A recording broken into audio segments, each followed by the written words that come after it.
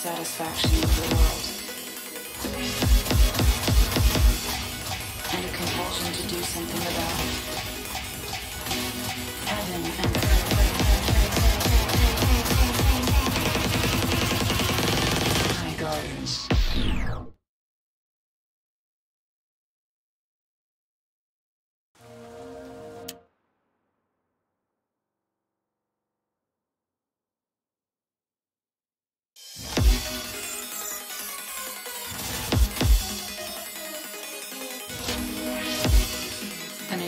Dissatisfaction with the world.